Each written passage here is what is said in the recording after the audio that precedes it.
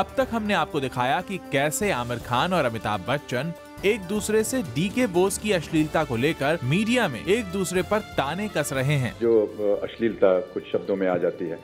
ये, देखिए, हर का, हर एक इंसान का, हर एक कलाकार का एक व्यक्तिगत निर्णय होगा। मैंने ऐसा अपने, माना हुआ है कि मैं, मेरे से वो अश्लील शब्द नहीं बोले जाते।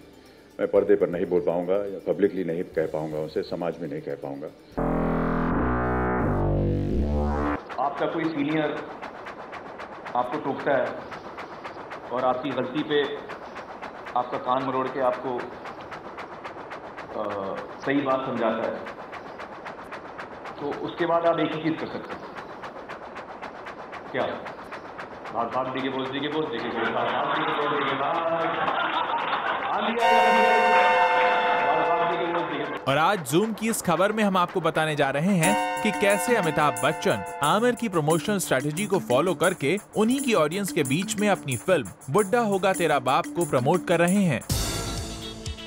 दरअसल अगर आप किसी भी थिएटर में डेली वैली देखने जाएँगे तो वहाँ आपको पीवीआर मेंबर्स कुछ इस तरह की टी शर्ट्स पहने नज़र आएँगे, जिस पर लिखा होगा, थोड़ा मैजिक थोड़ा जैक्सन ये लाइंस है अमिताभ बच्चन की फ़िल्म बुड्ढा होगा तेरा बाप की। मतलब साफ़ है। अमिताभ की यही स्ट्रेटेजी है कि जो भी आमिर खान की फ़िल्म को पीवीआर में देखने जाए, उन्हें वहाँ डेली वैलीज के प्रमोशन कम और बुढ़ा होगा तेरा बाप के प्रमोशन ज़्यादा नज़र आए।